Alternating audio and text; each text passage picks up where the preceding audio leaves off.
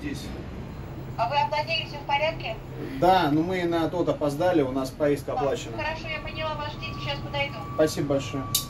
Ciao, io mi chiamo Sidney, ho studiato inglese e russo, sono un'attrice di teatro e faccio cose, vedo gente, mi interesso. Da 12 anni vivo a Mosca. Benvenuto sul mio canale in cui ti parlo di lingue, luoghi e persone, in particolare sulla mia rubrica russaliana, appunti russi di un'italiana, in cui ti racconto della mia vita quotidiana in Russia. Oggi, siccome sono le feste di maggio, quindi a cavallo del primo maggio abbiamo diversi giorni di ferie, andiamo a fare un giro a Vedenka, ci andiamo con la monorotaia, c'è una sola linea di monorotaia a Mosca che collega tre metropolitane e oggi te la facciamo vedere. Sto salendo su, sto andando a raggiungere mio marito che con la bambina è entrato dall'altro lato con l'ascensore, si può salire solo in due lì perché è un ascensore vecchio, non può trasportare più persone.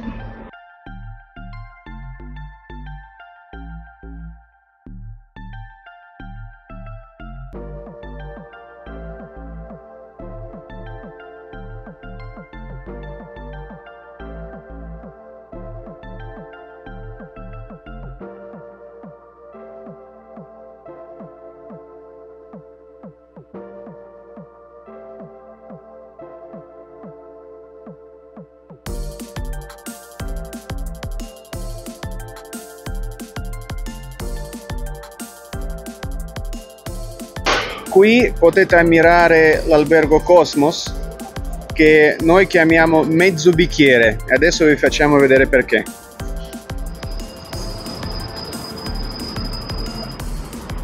Se siete italiani se siete stati a Mosca è molto probabile che siete stati qua. Se a Timiryazevskaya dove abbiamo preso la monorotaia c'era per miracolo l'ascensore qui a Wistowichney Center dove siamo usciti. Non c'è né l'ascensore quindi abbiamo dovuto portare giù il passeggino per le scale mobili.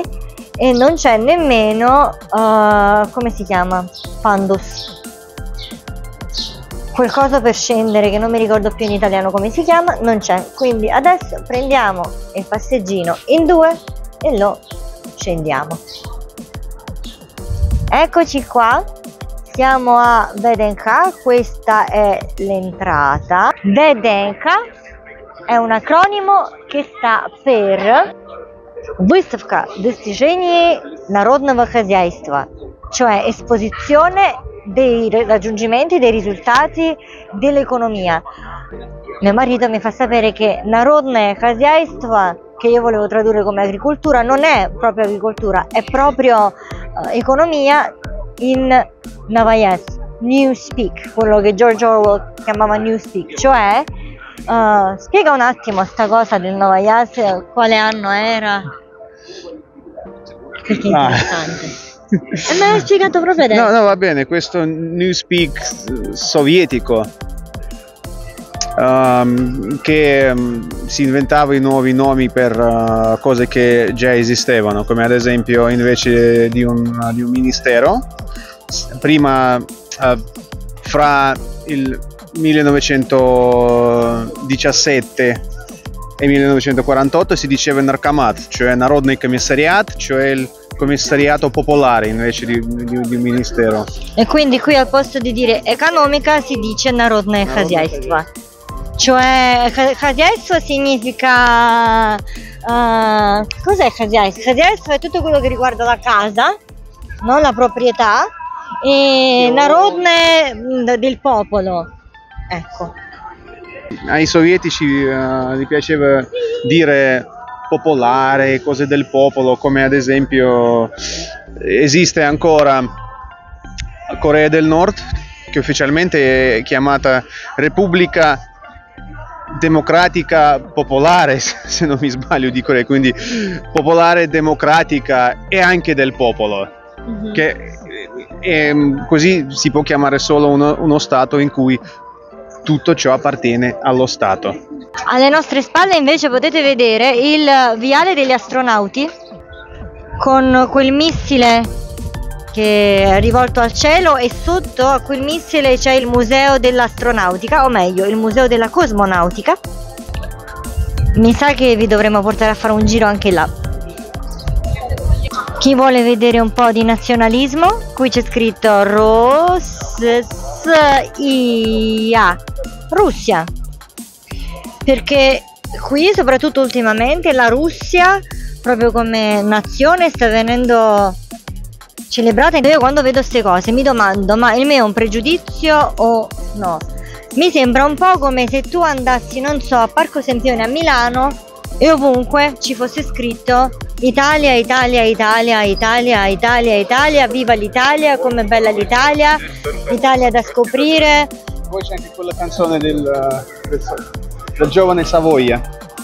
Ah, la canzone. Ho fatto sentire a mio marito ultimamente la canzone di Emanuele Filiberto con Pupo. Io credo nella mia cultura e nella mia religione, per questo io non ho paura di esprimere la mia opinione. Mio marito è rimasto allucinato dalla bruttezza del testo. Quello che vi ho fatto vedere proprio adesso era il padiglione centrale. Il padiglione dedicato alla Russia è questo qui.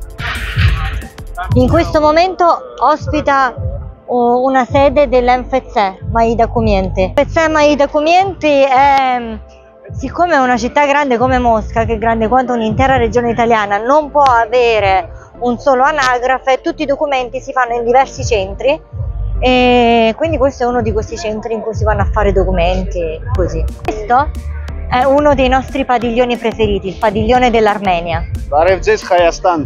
Barevzes!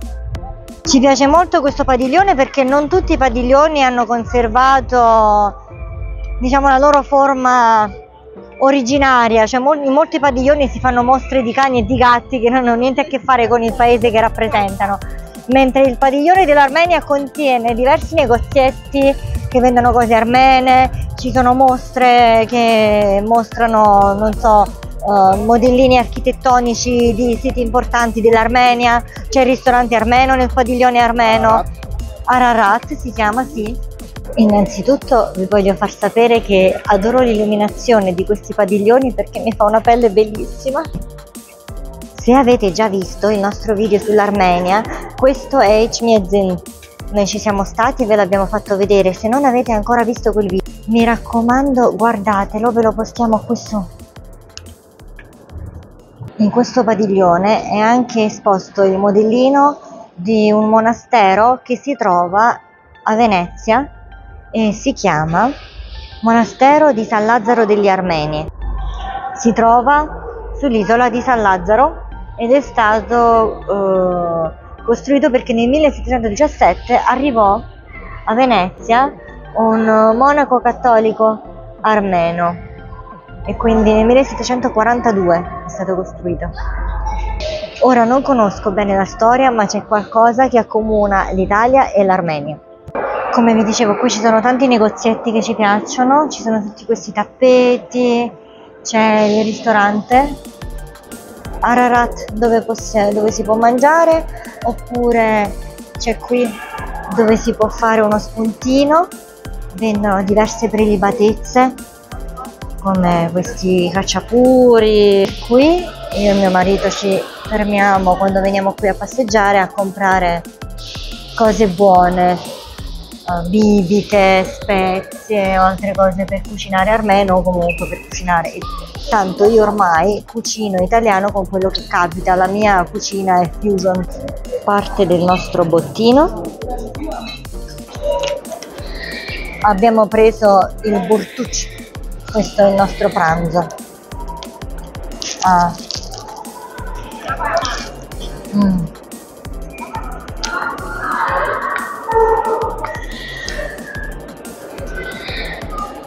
secondo me è meglio della shawarma definitely adesso vi faccio vedere uno dei miei punti preferiti di Bedenka che è la fontana dell'amicizia tra i popoli che non esiste più questa amicizia mi fa sapere mio marito che l'amicizia tra i popoli non esiste più vabbè immagino che ve ne eravate accorti mi sa che Tagikistan è stato l'ultimo paese ad annullare le amicizie con Russia. Eh, è un bel sogno quello dell'amicizia tra i popoli, Ah, comunque. no, no, no, scusa, rimane l'Azerbaigian. Chiaro, sì. Che amico. Sì. Ognuna delle statue dorate di questa fontana rappresenta una delle 16 repubbliche sovietiche. Padiglione uzbeko.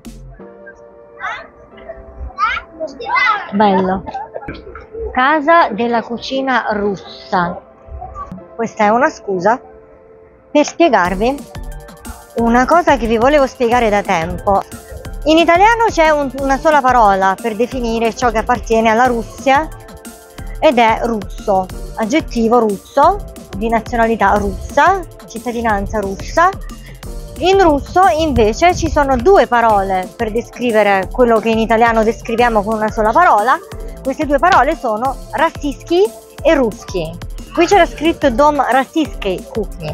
Rassischi è tutto ciò che appartiene alla, federa- sì, alla federazione russa in quanto Stato, in quanto unità politica, ok? Mentre Ruschi si riferisce all'etnia russa, alla cultura russa, che non è necessariamente la cultura di tutta la federazione russa, che comprende eh, un mare di gruppi etnici, di nazionalità e di culture diverse. Infatti, quando io in russo dico che sono cittadina russa, mi definisco российский гражданин, non русский гражданин, perché io non sono di nazionalità russa, ma sono italianca. Stiamo studiando la mappa di Verenka. Ci siamo accorti che la mappa, oltre ad avere le descrizioni anche in caratteri latini, ce n'è anche in cinese, ovunque. I caratteri latini, cinese. Caratteri latini, cinese. Abbiamo appena scoperto che ci sono state un mare di cose in questo padiglione e che il Centro Internazionale del Balletto c'è soltanto dal 2017 e che dal 1956 al 1964 questo edificio ha ospitato un reattore nucleare funzionante.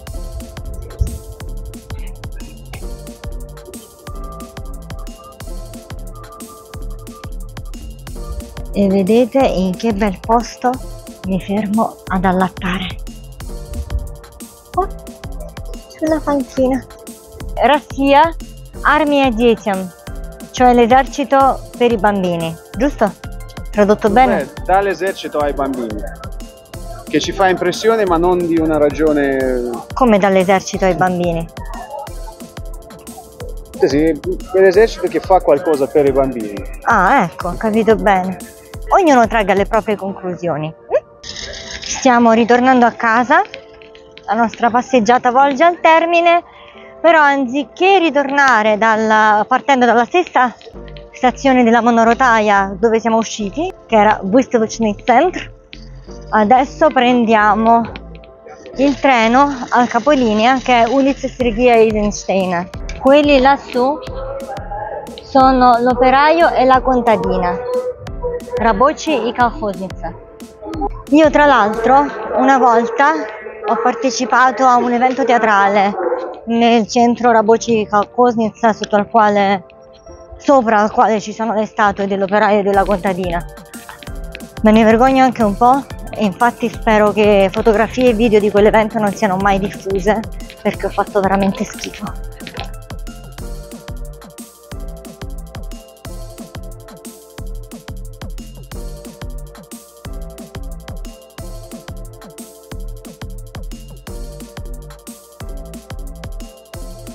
La nostra passeggiata è finita, siamo arrivati al capolinea. Se non l'hai ancora fatto iscriviti a questo canale e accendi le notifiche per non perderti i prossimi contenuti che farò, in particolare i prossimi contenuti sulla vita quotidiana in Russia. Ciao ciao!